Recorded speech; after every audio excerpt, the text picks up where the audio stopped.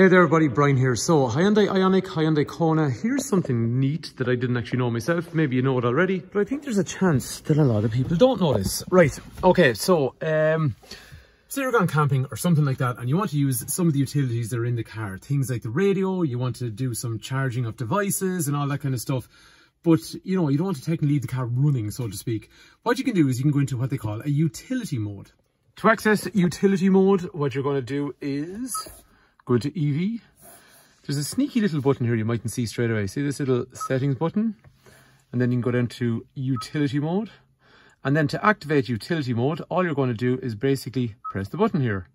And as you can see then, it's going to use the high voltage battery, as in the big electric battery, to power things like electronic devices and use other features that are in the car. Why is that good? Well, it means it's not draining your 12 volt battery and it also means that your car's not running so someone can't just jump into it and drive away.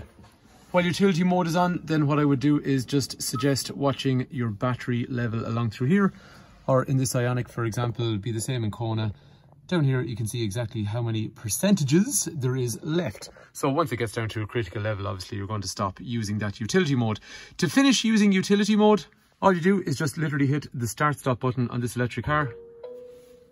Cool feature. I actually can see the merit in it because it's like if what we said, if we want to use the utilities in the car, charging, heating, lights, some of the vehicle to load. I'll show you that in another video where we want to charge from this car and all that kind of stuff.